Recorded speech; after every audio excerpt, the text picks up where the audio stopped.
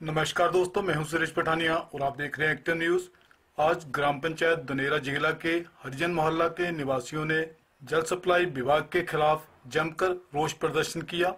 उनका कहना था कि उनके घरों में पिछले छह महीनों से पानी नहीं आ रहा। स्थानीय निवासियों ने कहा कि वे कई बार संबंधित अधिकारियों को इस बाबत बता चुके हैं, लेकिन स्थिति ज्यों की त्यों बनी हुई है। उनके अनुसार विभाग बिल लेने के लिए तो आ जाता है, लेकिन पीने का पानी उपलब्ध करवाने की शिकायत करने पर कोई कार्रवाई नहीं करता।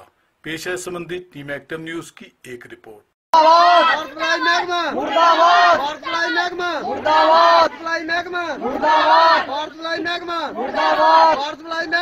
मुर्दाबाद! पानी की बड़ी प्रॉब्लम है। तो यहाँ पे जब भी भी आते हैं बिल लेने के लिए तो महीने बाद आ जाते हैं। तो हमने जब वाटर सप्लाई जाके फ़ोन किया तो वो बोल रहे हैं कि आपका पीछे जाके कनेक्शन बंद कर रहे हैं। जब हमने कंप्लेंट करने के बारे में बोला तो वो कुछ भी एक्शन नहीं ले रहे हैं। नहीं पानी नहीं आया कितना टाइम हो गया? पानी कितना टाइम से पाँच छह महीने हो रहे हैं अभी तक। नहीं आ रहा पानी नहीं आ रहा है पानी। हम किसी के नल के जाके पानी जा- लेके आते हैं खूह खूह पे जाके पानी लेके आते हैं तो यहाँ पे कोई वो आवाज उठाने वाला नहीं है मोहल्ले में ਅੱਜ ਤੋਂ 30 ਸਾਲ ਹੋ ਗਏ ਮਹਾਰਾਜ 30 ਸਾਲ 30 ਸਾਲ ਦੇ ਵਿੱਚ ਜਿੰਨੇ ਵੀ ਸਰਪੰਚ ਬਦਲੀ ਕੀਤੇ ਆ, ਬਣਾਇਆ ਸਰਪੰਚ ਜੀਤੀ ਦੇ ਟਾਈਮ 'ਚ ਪਾਣੀ ਆਂਦਾ ਰਿਹਾ ਸਾਡੇ ਮੱਲੇ ਉਹਦੇ ਬਾਅਦ ਜਿੰਨੇ ਵੀ ਸਰਪੰਚ ਬਣੇ ਆ, ਪਾਣੀ ਨਹੀਂ ਆਂਦਾ ਸਾਨੂੰ ਪਾਣੀ ਦੀ ਪ੍ਰੋਬਲਮ ਹੈ ਛੋਟੇ ਛੋਟੇ ਬੱਚੇ ਤੜਫਦੇ ਨੇ ਪਾਣੀ ਪੀਣ ਵਾਸਤੇ ਸਾਡੀਆਂ ਜਨਾਨੀਆਂ ਔਰਤਾਂ ਬੱਚੇ ਜਿੰਨੇ ਵੀ ਆ ਤਿੰਨ ਤਿੰਨ ਕਿਲੋਮੀਟਰ ਪਾਣੀ ਲਿਆਂਦੇ ਨੇ ਸਰੋਂ ਚੁੱਕ ਕੇ। ਇੰਨੀ ਗਰਮੀ 'ਚ ਦੱਸੋ ਕਿਸੇ ਦਾ ਹਾਲਟ ਫੇਲ ਹੋ ਜਾਏ, ਕੌਣ ਜ਼ਿੰਮੇਵਾਰ ਹੈ?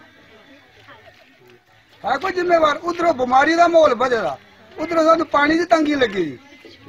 ਸਾਡੀ ਕੋਈ ਸੁਣਾਈ ਨਹੀਂ ਕਰ ਰਿਹਾ। ਅਸੀਂ ਇਹ ਚਾਹੁੰਦੇ ਕਿ ਇਸ ਮਹਿਕਮਾ ਜਿੰਨਾ ਵੀ ਹੈ, ਵਾਟਰ ਸਪਲਾਈ ਦਾ, ਜਿੰਨੇ ਵੀ ਮੁਲਾਜ਼ਮ ਇੱਥੇ ਬੈਠੇ ਨੇ ਸਾਰਿਆਂ ਦੀ ਬਦਲੀ ਹੋਣੀ ਚਾਹੀਦੀ। ਇਹਨਾਂ ਨੂੰ 3-3000 ਰੁਪਏ ਮਹੀਨੇ ਦਾ ਭਰਨੇ ਪੇ ਕਰਾਇਆ ਤੇ ਆਪੇ ਰੋਟੀਆਂ ਪਕਾ ਕੇ ਖਾਣੇ ਆ ਪੈਣ ਉਹਦੇ ਬਾਅਦ ਇਹਨਾਂ ਨੂੰ ਅਕਲ ਟਿਕਾਣੇ ਆਉਣੀ 2 ਮਹੀਨੇ ਬਾਅਦ ਇੱਕ ਰਾਤ ਦੀ ਘੜੀ ਘਰ ਆਣ ਠੀਕ। ਦਫ਼ਤਰਾਈ ਕਾਫੀ ਵਾਰੀ ਜਾ ਚੁੱਕੇ ਆ ਸਾਡੀ ਕੋਈ ਸੁਣਾਈ ਨਹੀਂ ਕਰਦੇ। ਹਾਂਜੀ ਇੰਨੇ ਅਸੀਂ ਦੁਖੀ ਹੋ ਚੁੱਕੇ ਆ ਇਸ ਮਹੱਲੇ ਦੇ ਵਿੱਚ ਪਾਣੀ ਵਾਸਤੇ ਤੇ ਸਾਡੀ ਕੋਈ ਸੁਣਾਈ ਨਹੀਂ ਕਰਦਾ। ਕੋਈ ਵੀ ਕੰਮ ਹੁੰਦਾ ਸਾਡੇ ਕਹਿੰਦੇ ਚਲੋ ਜਨਾਨੀਆਂ ਬੰਦੇ ਇਕੱਠੇ ਹੋਵੋ।